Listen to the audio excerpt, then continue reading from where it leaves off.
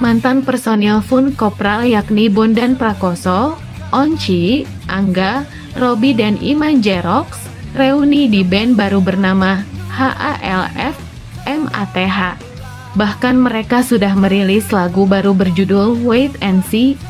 Iman Jerox menjadi personil terakhir yang melengkapi formasi reuni itu.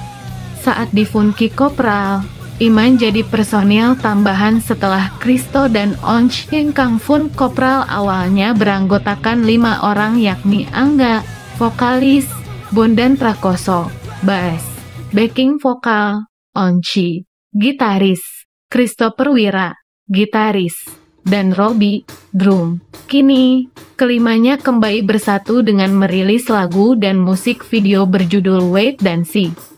Saat artikel ini ditayangkan, musik video itu sudah ditonton lebih dari 53 gigu kali di YouTube Bondan. Prakoso bertindak sebagai eksekutif produser dalam pembuatan musik video Wait and See.